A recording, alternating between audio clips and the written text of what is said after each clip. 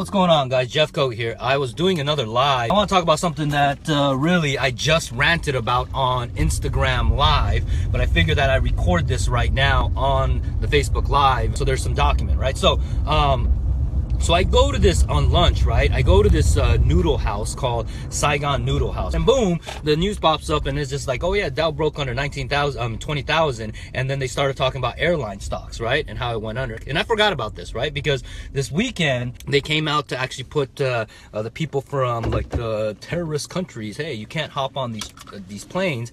And uh, they put a block on it, right? So, so I saw that and I was just like, crap, man. He's all like, I know what's going to fucking happen. This has happened before the airline industry is going to tank, right? Or and or at least come down maybe like three, four, uh, four percent. So if you can wedge yourself in and short the market, you can make probably per per contract maybe make anywhere from a dollar, two dollars a contract, right? But obviously commissions paid and stuff like that. You have to buy a significant amount to make good chunks of money. But um, I was just like, okay, it can we can make some money. So so I was researching it to a point because on Saturday the see when I came in from the office like at noon, I saw that and instantly my brain went to that. So I started researching and then I went to like Forest Lawn, right? And then on the drive there, I'm researching and I was telling my wife, I'm just like, man, watch. Someone's selling short on the airline. And then as I went into the Saigon Noodle House, I see that, I pop it up on my phone. Delta went down 6% today and obviously end of day, I think the market's gonna close in the next few minutes now. And uh, it's obviously hovering with a loss about 3%, right? So all the action usually happens in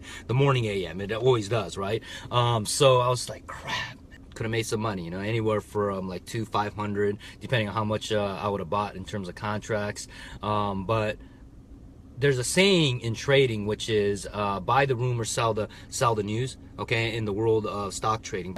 Hey they're gonna stop everything and all this chaos and stuff and the news came out and now and then it was all against right? It was all favorable to you too right? Which is hit 20,000 that week right? So everyone's feeling good and then this happens. I'm just like yeah you know? And then I was telling like uh like my brother um which I talked to like uh, I want to say like Saturday night, like 12 o'clock, and uh, we had we got into a conversation about 401ks and stuff like that. And he has a good chunk of money in there, and I was like, dude, how much are you contributing? He was like, man, like 15% of my paycheck every single month, right? And was, I was like, damn, okay. And then he has a good you know chunk in there, and then I told him, I said, dude, man, watch this week your assignment is is contact your HR, and I said position yourself and move everything into fucking cash. That's what I told them. Because if you get into cash, then at least if they're once if it does decline, then you have the ability to buy back. Because if you even lose and the next, let's just say we have another uh, crash in the equities market, then uh, if you have if you lose like 30 40% of that to make that up that's going to take you another five six years versus hey staying in a cash position even if that crash happens in the next 12 months or 24 months or even 36 or 48 right at least you're a lot safer okay? And especially if that happens in the equity market, most likely it's going to trickle down to the real estate market, okay? Um, and you have at least a cash in there so you can leverage off that to be able to buy uh, different uh, assets using one asset class that, that's depreciated or went down and then buy another asset class, right? So that was the suggestion I've given him and he was just like, oh, that's smart, you know, and I hope he does it. And that's for anyone else. And my, my recommendation too, if I can, is, is to do exactly that because um, it will happen happen. It's a correction will happen. It's just a matter of when, but you have to be positioned in that, right? So, um, so if you're a young buck and uh, you, you, know you have something in there, especially even if you're older, right? Like if you have a 401k and stuff like that, understand how that thing works.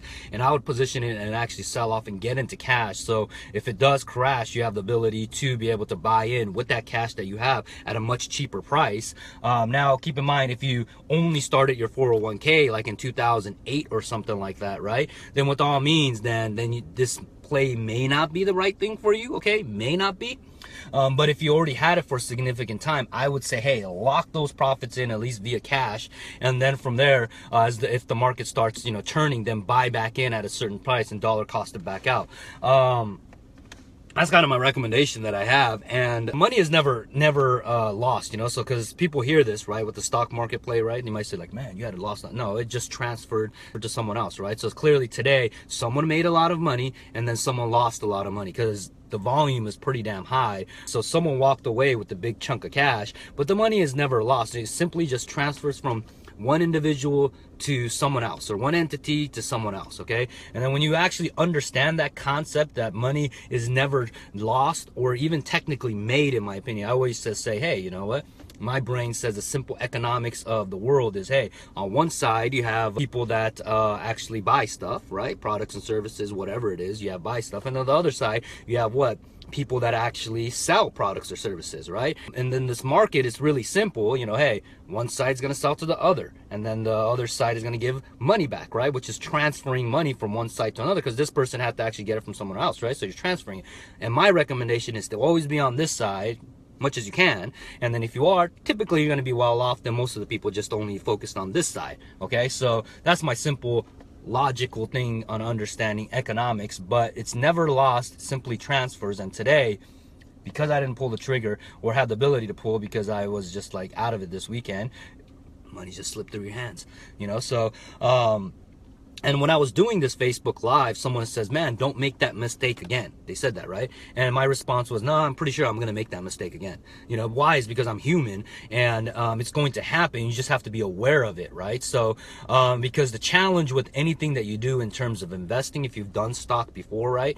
And made money on an up market and stuff like that, right? Or even aggressive down market, if you know how to short it, right? You can make a lot of money. Is success is a really piss poor teacher. It doesn't teach you anything other than the fact that it gives you ego and gives you confidence to keep on doing it, which is the most dangerous thing that you can have. When you actually physically lose money, then you're just like, ah, okay. And I and I actually have that happen uh, when I was trading. Is actually yeah, I was in the commodities market and I was trading gold, silver, oil, um, and I made a terrible, terrible uh, trade with something called Tata Motors. Um, uh, Tata Motors at that time where I got into an actual block of trading stocks that I didn't understand. Other than the fact that, you know, at that time, uh, Tata Motors was, um, um, it was actually, uh, what was it? Um, one of the biggest uh, like Indian motor Indian you know company at that time, right in the automotive industry, and uh, they they were going to buy out. I believe it was Range Rover at that time, right? And I was looking at, it, I was like, oh yeah, that's a great move, you know. And I like the car too, so I got emotionally engaged in that, and I bought crap loads of freaking stock in there, um, and um, and I didn't follow the core concept of buy the rumor, sell the news, right? So I bought on the news when that was actually proposed and got executed versus I should have bought on the rumor and I should have sold off on the news and I would have walked away with the profit. Again, it's just one of those things where you make a mistake and that's when really really you know hit home for me on the fact of buy the rumors sell the news. It's so true okay? And i'm a firm believer even in real estate as well buy the rumor sell the news right? So if the if the rumor is one direction you know hey when the the data comes out, start selling it. And then this week, last rant is um, I think we have a lot of uh, reporting coming out. I think we have the, the unemployment coming out as well. We just had the GDP uh, stuff come out last week, and I think we're at 1.98% growth on it. That's the adjusted amount. But I think we have tons and tons of reports coming out, I believe, this week. So it's going to be really interesting in just the equities market alone um, on what's going to happen. But, you know, that's my little rant for today. Um, if I come up with some other stuff, I'll definitely go on. So uh, let me know if you got any questions. Leave comments below. I gotta go up and get back on uh, on the grind. So take care. Bye.